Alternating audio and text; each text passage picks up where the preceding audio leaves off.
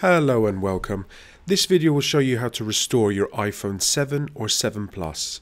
Now you may need to do this if you've got a passcode or a disabled screen on your device and you can't remove it for whatever reason. This will help you take all of those passcodes and disabled locks off your device and be able to use it. The first thing you need to do is turn off the device by holding the power button. Now slide to turn off.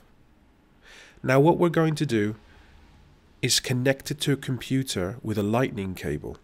Now this lightning cable needs to be connected already to a computer.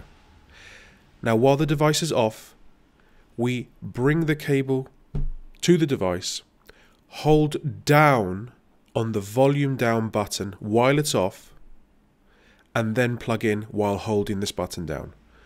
So press and hold the volume down button and insert the cable into the device.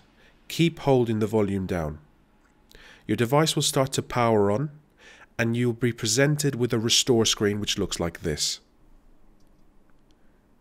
Your device will shortly appear on your computer.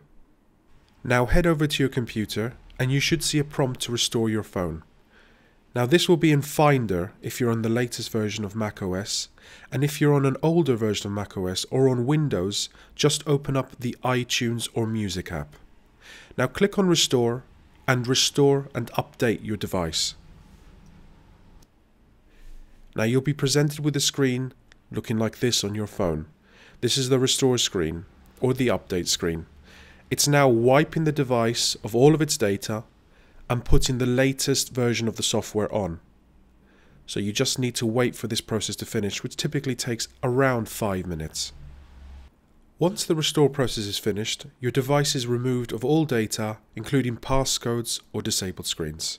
You'll be able to set it up as you wish.